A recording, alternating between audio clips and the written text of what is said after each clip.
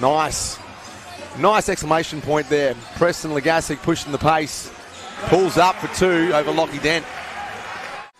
Johns, he's got a nice little inside game. Good touch around the rim. Rebounds the ball well. We saw it go upstairs before as, as Rigby launches the three.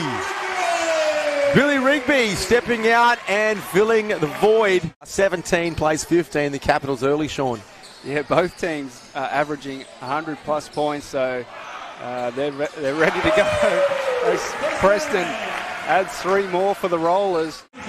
Came up empty on that one. Cadee pushing the ball. He pulls up. He finds Preston Gassick. No good. Who gets his own rebound. TJ Diop is to be uh, credited for that one.